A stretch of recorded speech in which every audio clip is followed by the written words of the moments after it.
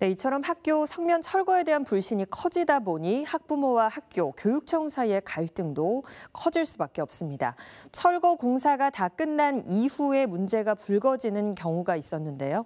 서울에서는 학부모와 학생들이 1인 시위를 하고 청소 작업을 다시 하는 경우도 있었습니다. 아직도 걱정이 가시지 않은 학부모들을 박희봉 기자가 만나봤습니다.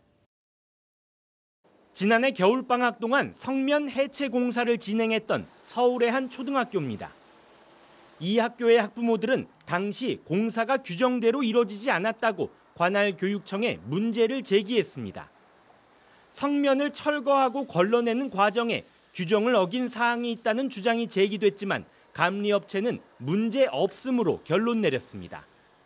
심지어 일반인인 제가 이런 걸 찾을 수 있을 정도인데 왜 감리는 이걸 못 찾는 거지?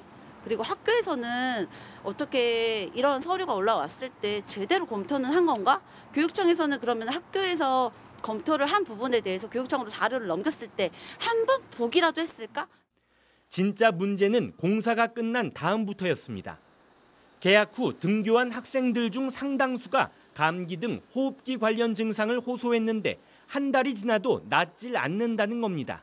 이번에 성명 공사가 잘 됐는지 안 됐는지 좀 확인 좀 해줄 수 있느냐 그래서 왜 그러냐 그랬더니 우리 아이가 원래 이렇게 감기가 길게 가지 않는다 어떻게 한 달이 넘게 감기를 달고 있을 수가 있느냐 이렇게 얘기를 하더라고요. 그래서 이렇게까지 항생제를 계속 먹는 것 자체가 부모로서 걱정이 되는 부분이 맞거든요.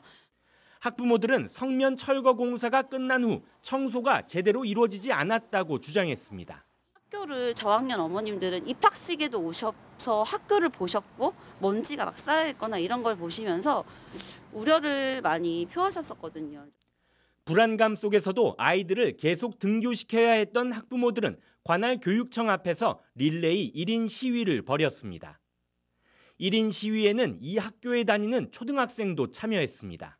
그곳에서 저랑 친구들이 아프지 않게 잘 해야 된, 잘 공부를 해야 되는데 뭔가 나쁜 유해 물질이 있으면 저랑 제 친구들이 뭔가 걱정하고 아플 것 같아서 학교보다는 엄마 따라서 시위를 하는 게 낫다고 생각했어요. 학부모와 학생들이 목소리를 모아 지속적으로 문제를 제기한 끝에 교육청은 학교 내부를 다시 대청소했습니다. 대청소를 결정하기까지는 3개월이라는 긴 시간이 걸렸습니다. 그냥 공사하라고 금액만 주면 되는 게 아니란 말이에요. 제대로 되고 있는지 제대로 된 관리 감독을 하셔야 되는 게 맞고 적어도 그 자리에 앉아서 업무를 보는 분이 계시다면 그분이 성명공사에 대해서 제대로 아셨으면 좋겠어요.